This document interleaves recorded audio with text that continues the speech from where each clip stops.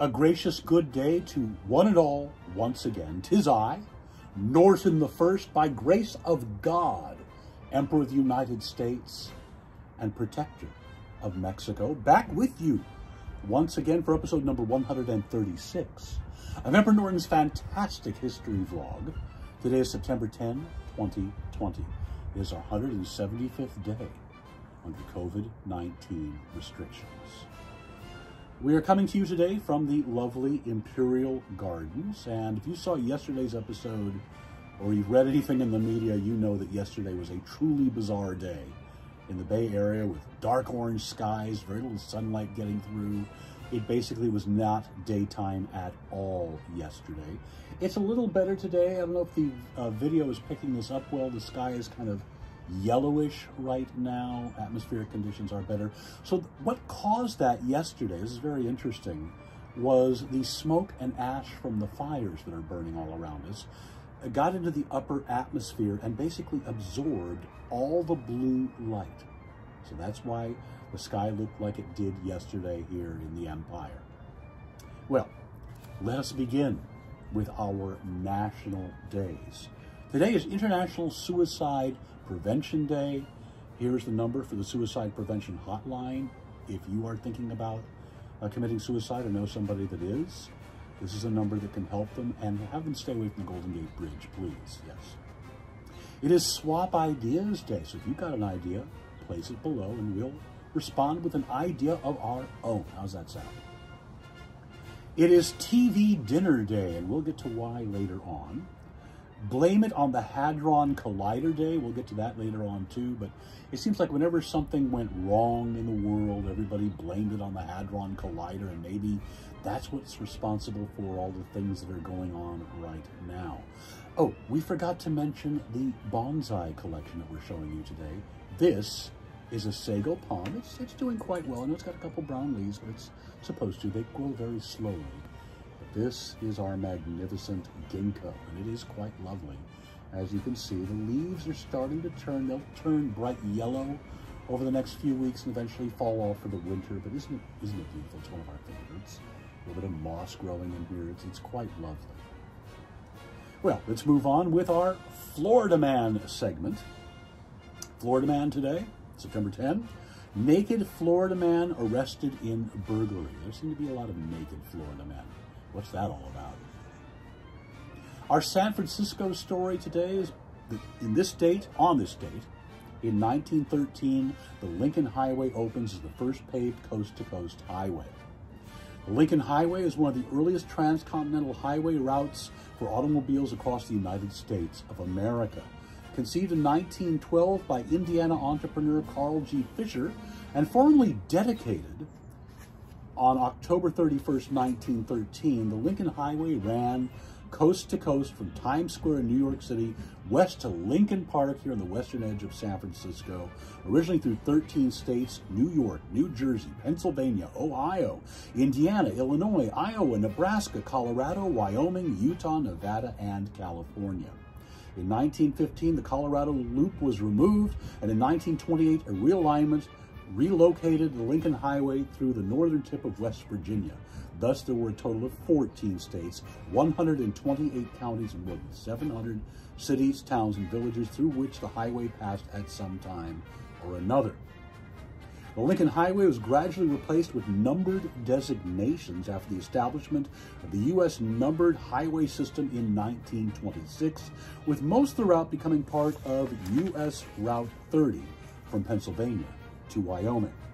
After the interstate highway system was formed in the 1950s, the former alignments of the Lincoln Highway were largely superseded by Interstate 80 as the primary coast-to-coast -coast route from New York City, the New York City area to San Francisco. Of course, Highway 80 is very, very important here in the Bay Area. In fact, it goes across our bridge other history for today. The year 1349. Jews who survived a massacre in Constance Germany are burned to death. 1608, John Smith is elected president of the Jamestown Colony Council in Virginia. 1823, Simon Bolivar is named president of Peru.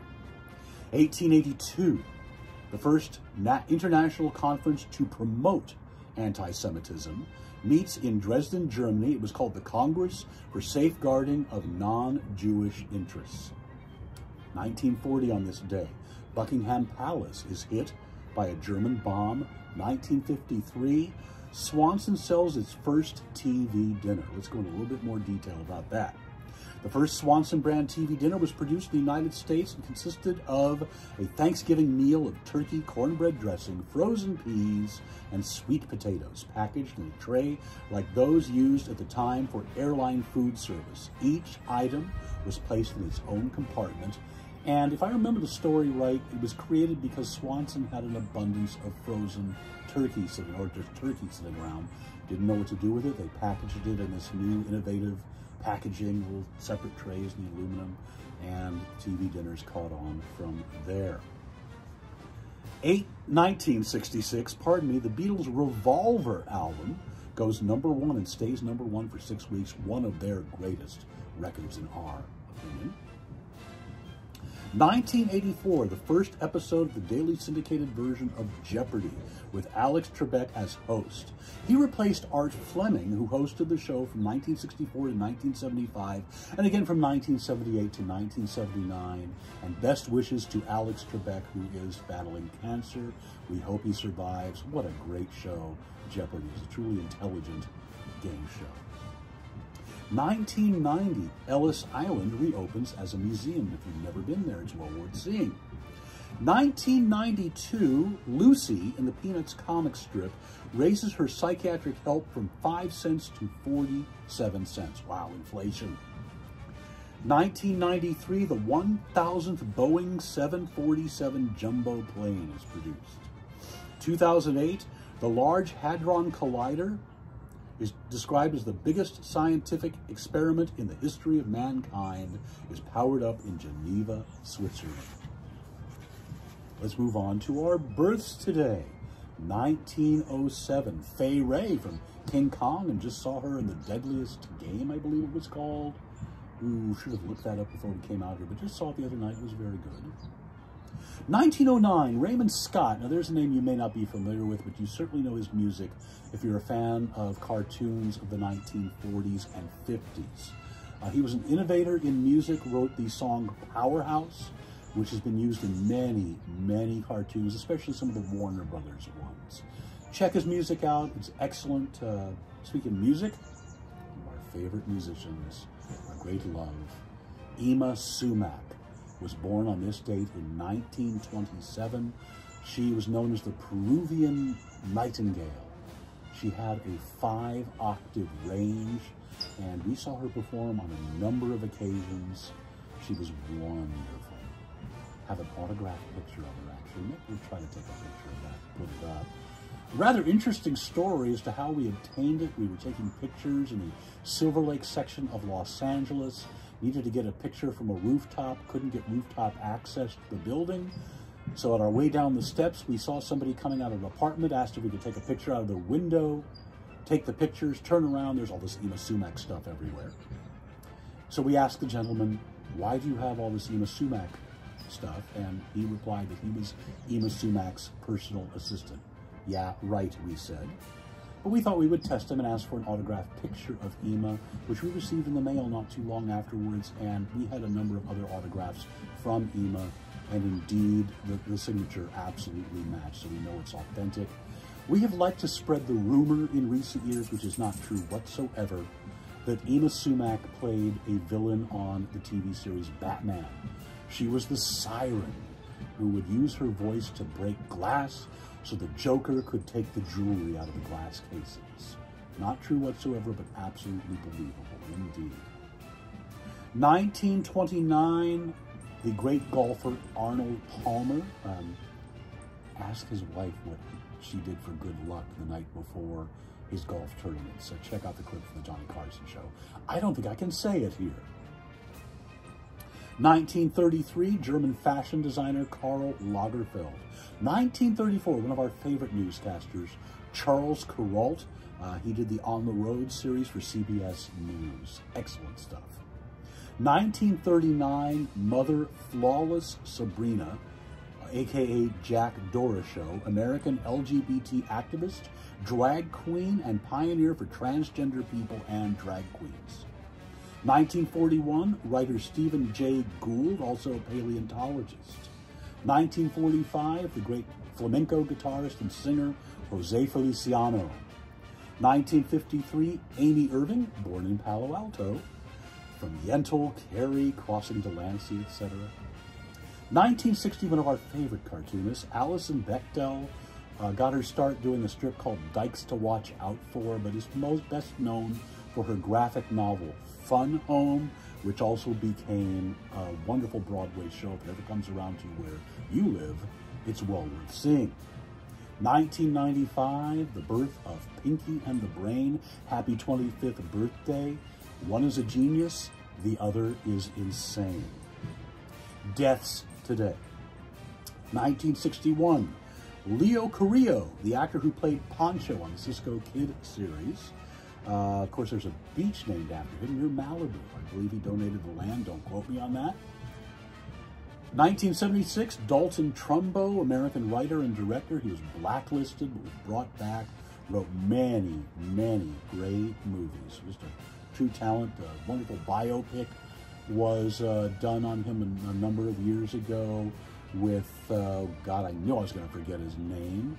Uh, he's the guy that played Walter White in Breaking Bad. Next to me here. You all know who I'm talking about. Unfortunately, we don't this morning should look these things up in advance. Oh, well, we'll move on. It'll come into my head All right. 1991, the actor Yves Montand. Another actor, 2014, Richard Kyle or Keel. Uh, 2016, Eddie Antar, founder and CEO of Crazy Eddie Electronics Store.